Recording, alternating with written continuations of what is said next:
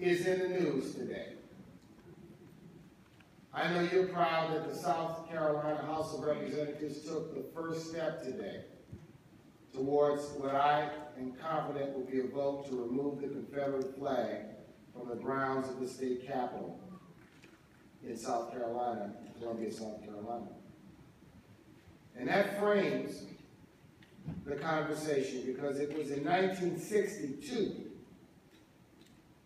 the height of the civil rights movement, some uh, eight years after the Brown versus the Board of Education decision, that South Carolina made a decision to raise the Confederate flag above its state capitol in what many of us know and understand and believe, which was an act of defiance to the movement for civil rights and integration therein. Those times were times of profound social change. The nation changed in dramatic ways in the period from 1954 to 1968. Along the way, those on the front lines, and they were activists and they were elected officials. They were activists, of course, like the legendary Dr. Martin Luther King. They were activists like my illustrious predecessor, Whitney Young. They were activists like Dorothy Height. They were men and women at the local level who were on the front lines. Their vision was for a better nation, a better America, for America to turn past its past to a new and exciting future. And those activists had partners in the elected spectrum in this very capital. Those activists also had partners in the name of presidents like John F. Kennedy, who introduced in June of 1963 what eventually became in 1964 the Civil Rights Act of 1965, 64.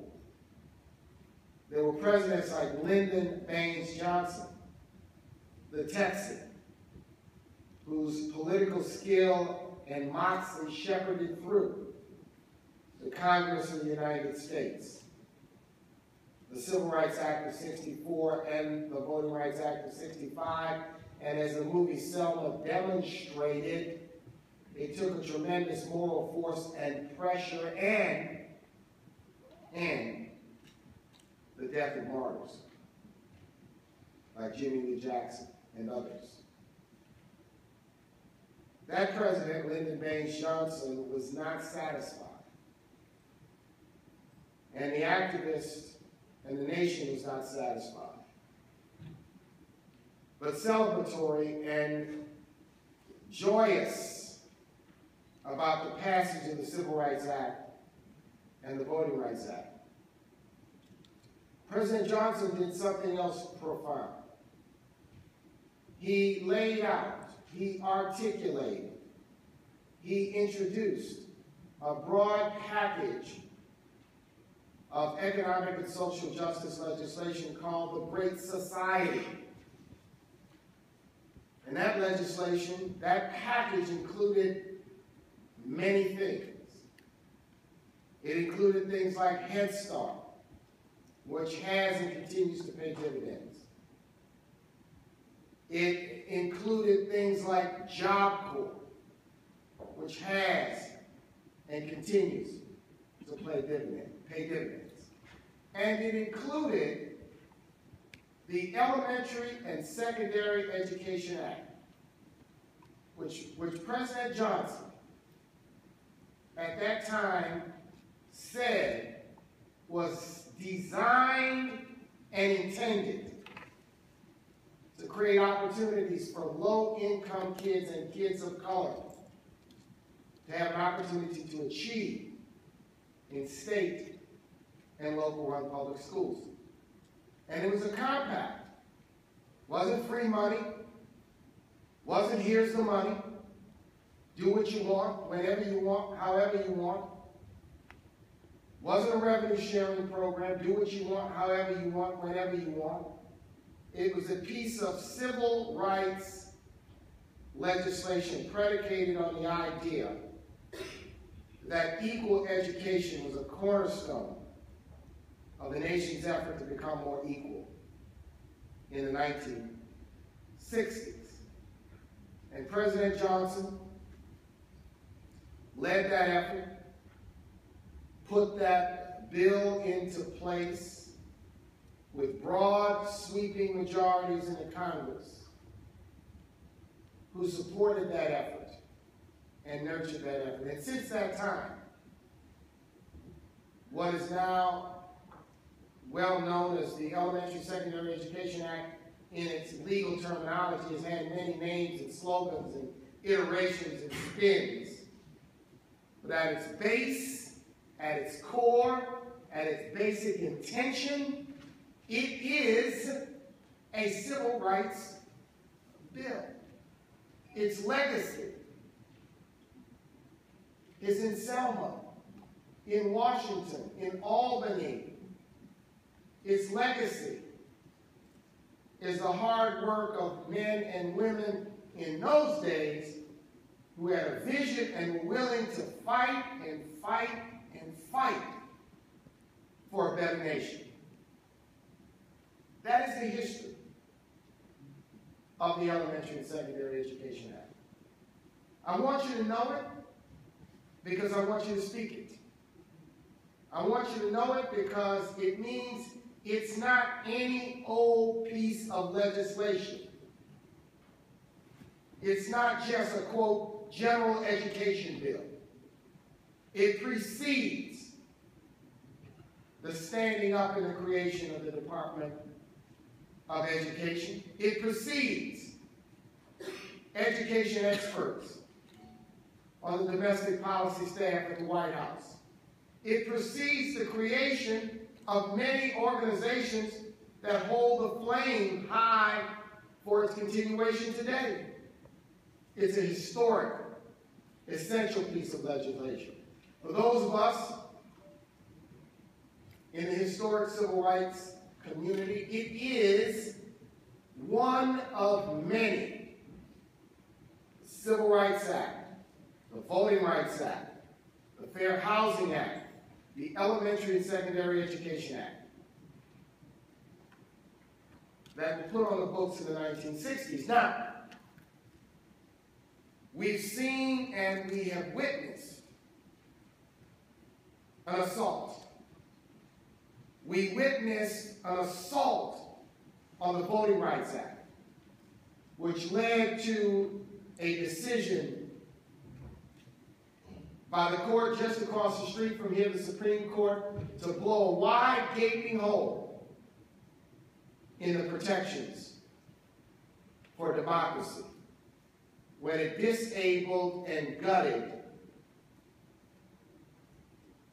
the preclearance provisions contained in the Voting Rights Act. In other words, they gutted the teeth, took the teeth out, took the accountability out, the Voting Rights Act said the states, you can do what you want.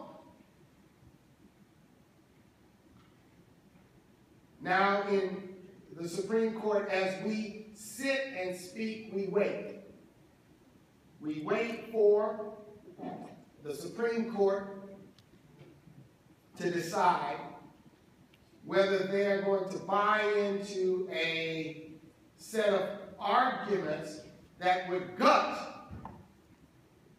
the Fair Housing Act of 1968. Gut it, render it toothless, turn it into a less effective enforcement mechanism against housing discrimination, which sadly still persists and exists in this nation. And thirdly, before us today and part of the discussion today is whether the Elementary and Secondary Education Act is going to be rendered toothless in terms of ensuring accountability and results for low income, poor, disadvantaged, and kids of color. I want to frame it that way because this debate does not sit in isolation of much of what is occurring in this country. This generation cannot be true to what Dr. King worked and died for, what Lyndon Johnson stood for, what Whitney Young strategized about. If it will sit in the stands and in the galleries and watch important pieces of legislation gutted, spayed, neutered, and rendered toothless. And the Urban League doesn't care whether the, pol the politicians who do it have D's or R's. Civil rights and equal rights and equal justice is a nonpartisan thing. It's higher than partisanship. It's bigger than red jerseys and blue jerseys. It's bigger than that because it goes to who and what we are and should be as a nation. Are we going to ensure that when the federal government invests in states to help young people achieve, that there's going to be some accountability behind it? And that the accountability system is not going to be whatever the state says it should be. We saw that dance on the Affordable Care Act and the stimulus, states refusing to expand Medicaid, refusing to take stimulus dollars and workforce money and summer jobs money that would benefit. This is an important discussion about how to ensure that these accountabilities. The bill that the Senate passes has some good in it, but it's not enough to say we're going to spend $15 billion a year to do this kind of work. The B-2 Spirit aircraft costs us 2.4 billion apiece. The Baghdad infrastructure rebuilding program is a multi-year, multi-billion dollar commitment to build schools and hospitals and wastewater and water systems in Baghdad, in Kandahar, So I'm not going to sit here, I'm not going to stand here and suggest that the, the bill is a bad instrument in toto, but it doesn't address many of the things that the leadership of the civil rights communities of this nation have had to confront and have articulated should be in this legislation. Yet we are open to finding a way forward. But any way forward has to have accountability. The ability for the Department of Education and the Secretary of Education to involve and intervene. Involve and intervene. Where would we be in the police cases? If Eric Holder and Loretta Lynch and the Department of Justice could not intervene and do pattern and practice investigations and collaborative investigations, where would we be? Watching and wondering. So I frame this with the idea that we want to have a good conversation today and acknowledging that there are differences of opinion about what accountability, what the right type of data uh, should look like. But I do know, I do know that we will be judged, particularly when we see what is happening across this nation, as to whether we had what it takes to be absolutely consistent with what Lyndon Johnson envisioned in 1965.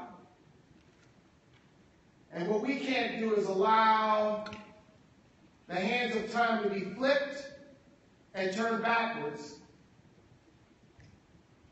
or essential accountability provisions to be rendered useless in these challenging and in these difficult times. So the National Urban League has, of course, aligned and allied itself with many civil rights partners uh, in an effort, in an effort uh, to assert our thinking inside of this process. And we will work and we will fight and we will collaborate and we will compromise, except on our principles, except on what is fundamental, except in these very difficult and challenging times. So it's my honor uh, at this time to recognize for remarks which